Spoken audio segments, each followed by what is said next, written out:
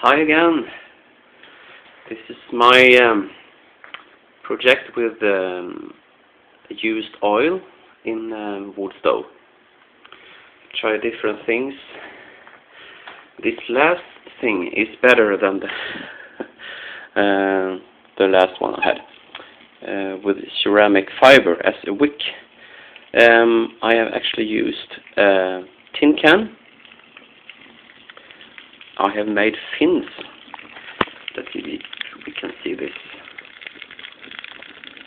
You see I have um, made fins and bend them in over as um, kind of vortex vortex um, way that the fins gets heated up by the fumes and transfer the heat to the bottom of the um, uh, the can and um, heats up the oil beneath. And it all get a nice burn. And uh, when it starts to um, heat up everything in the, the can starts. I need to start with um, some paper towels to get the heat going. And it's good heat so I use, usually starts with pouring uh, two deciliters of oil in the in the in the fireplace in the can and um, put paper towels in it and fires up. And when the oil almost has burned out, I have this system here. It's a copper tubing going inside a hole back of the oven where it has has been um, a bolt so I haven't drilled any holes in the oven. Just use a hole um, who was there before. And this line goes up to this container. I had to make this as nice as possible. So my wife uh, would allow me to do this project I think you guys know what I talk about. But when we get free heat, she's happy. Uh, so here, I have a valve. Closed. You can hear the sound when I open it.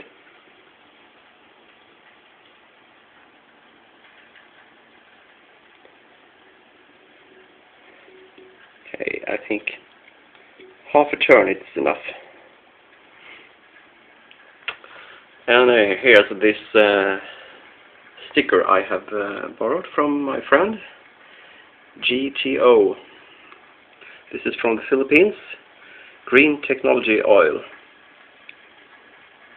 You should check out that because it's a nice product I have used in my car and I get benefits from it. They also have um, vortex exhaust pipes called GTE that is very good. Uh, I get at least 5% increase in uh, fuel economy with with my GTE you have seen those uh, videos from Enrico. So here is the top.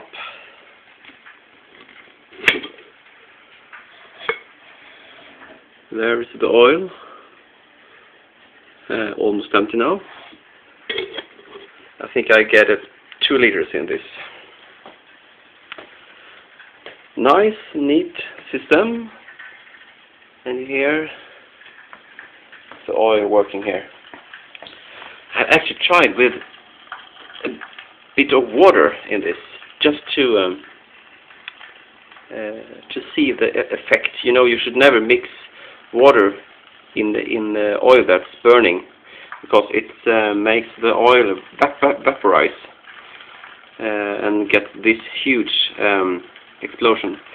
But when you want heat, perhaps that is a good idea to vaporize the oil. So I um, have this small amount of water, I pour it into the tank, and as you know, water is heavier than oil, so it will sink, go down before the oil to the oven. A uh, couple of seconds, you will hear. Okay, let's go.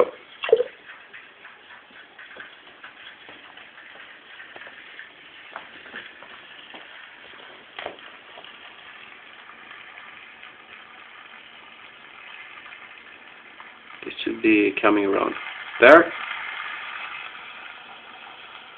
Did you see the boost? Hear the boost.